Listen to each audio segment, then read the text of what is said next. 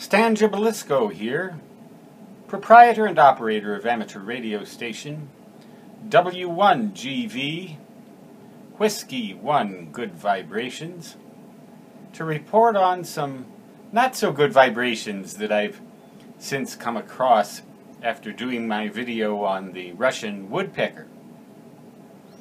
Uh, that went out of commission in 1989 and caused massive interference over large amounts of the shortwave radio band and over large amounts or large geographical areas of the world.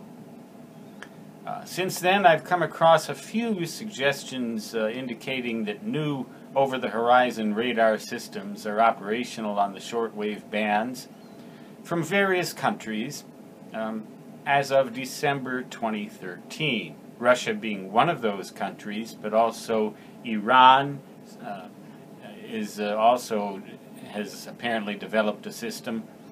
But since then, a lot has changed, and one of the things that's changed is that the noise from home appliances has grown so severe and so uh, pro, uh, so widespread as to outweigh any uh, interference that I've ever heard that might be over the horizon radar. Um, I, so I'm going to leave comments open here, and uh, any of you who think that you've heard this type of signal, I'd, I'd love to have you send me some links, um, but please, none of the mind control stuff, none of the weather control stuff, none of the propaganda just the facts.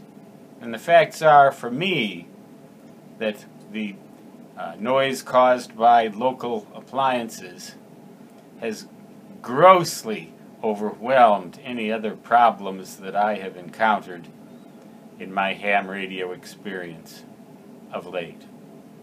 Stan Gibilisco W1GV. Signing off for now, saying 73 and so long, which in my native fist translates to da da da da da da.